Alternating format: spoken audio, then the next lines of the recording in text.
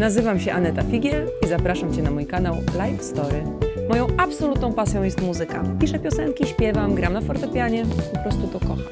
Przez lata na scenie programu Jaka to Melodia oraz na innych polskich scenach wspomagałam wokalnie mnóstwo artystów.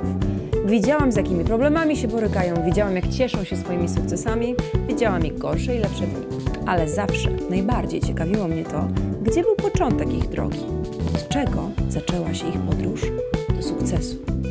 Postanowiłam odpowiedzieć na te pytania i stworzyć miejsce, w którym i Wy będziecie mogli dowiedzieć się z pierwszej ręki. Jak zacząć, żeby odnieść sukces? Czy sukces to tylko popularność? Czy sukces może być dziełem przypadku albo szczęścia? Czy sukces może być przekleństwem? Co to w ogóle jest sukces?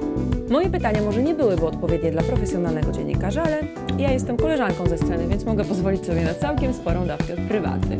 W Live Story zobaczycie gwiazdy w całkiem nowym wydaniu. Do każdego programu zaproszony gość przynosi trzy gadżety, które były istotnym elementem bądź symbolem w podróży do miejsca, w którym jest obecny. W każdym programie usłyszycie gwiazdy w zupełnie nowej odsłonie muzycznej. To co? Niedługo widzimy się w Live Story.